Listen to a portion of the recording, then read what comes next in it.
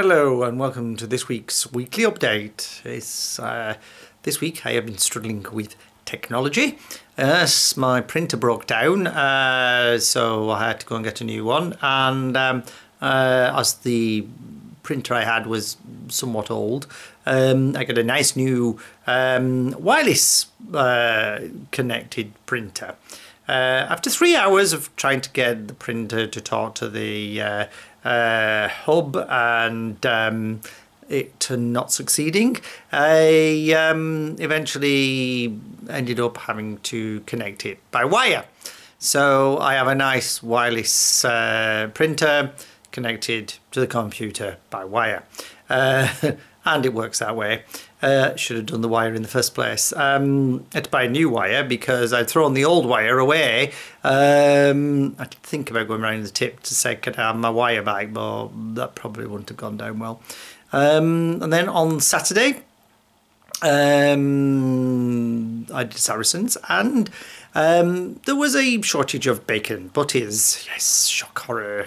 Uh, that's a major contention of deprive people of a bacon butty uh, for breakfast, and um, uh, it's tantamount to a riot. Um, and uh, the alternatives, uh, which was uh, pasties, sausage rolls, pain au chocolat, and uh, croissants, uh, I couldn't eat because of my um, dairy intolerance.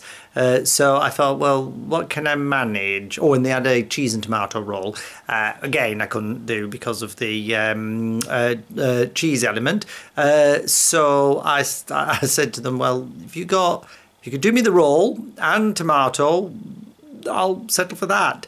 Um, then they um, went and asked uh, and came back and said, well, the chef thinks tomato roll is a bit boring. Would you like some avocado in it? And I went, yeah, avocado. Um, so uh, I had a very nice um, avocado and tomato roll.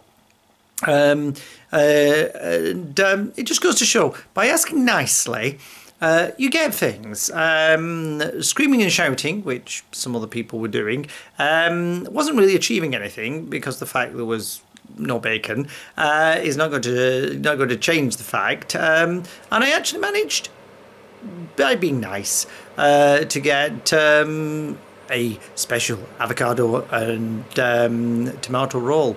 Actually, was really nice. So I'm actually trying avocado and tomato rolls normally. Uh, it wasn't warm, it was cold. Um, I'm not quite sure whether it would uh, would do warm. Uh, so until next week, goodbye.